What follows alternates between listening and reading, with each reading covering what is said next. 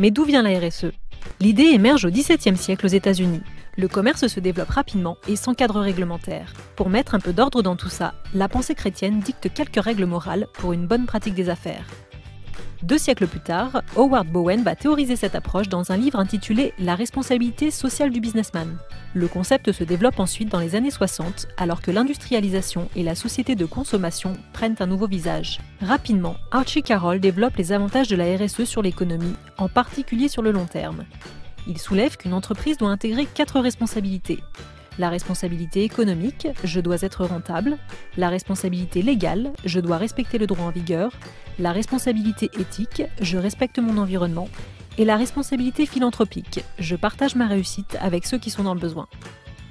Le respect de ces quatre pratiques permet à l'entreprise de voir rapidement des effets positifs sur son chiffre d'affaires. Très tôt, les entreprises américaines y voient le moyen de développer de nouvelles opportunités de business. Aujourd'hui, le principe de RSE est entièrement intégré à la stratégie de certaines entreprises et notamment des plus importantes.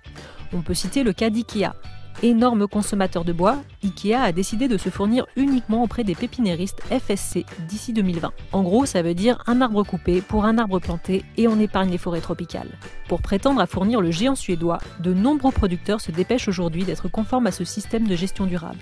En plus de vrai pour sa réputation, IKEA s'assure une production sans discontinuité et d'un bois identique pour tous ses points de vente. L'autre exemple de l'intérêt économique d'une approche RSE se retrouve avec Walmart. Grâce à la pose de panneaux solaires sur tous les points de vente, ils se prémunissent des coupures de courant et économisent chaque année 231 millions de dollars. D'autres entreprises voient le jour en misant leur succès sur l'image responsable. C'est le cas des chaussures Toms qui se font connaître avec un business plan charitable. En achetant une paire de chaussures, le client en offre une à un enfant dans le besoin.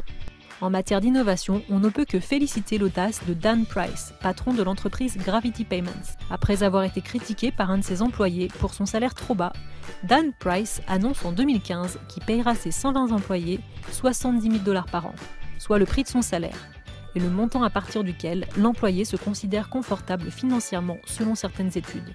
Beaucoup de firmes américaines attendent aujourd'hui de voir les résultats pour savoir si cette stratégie salariale est à imiter pour le bien-être des affaires.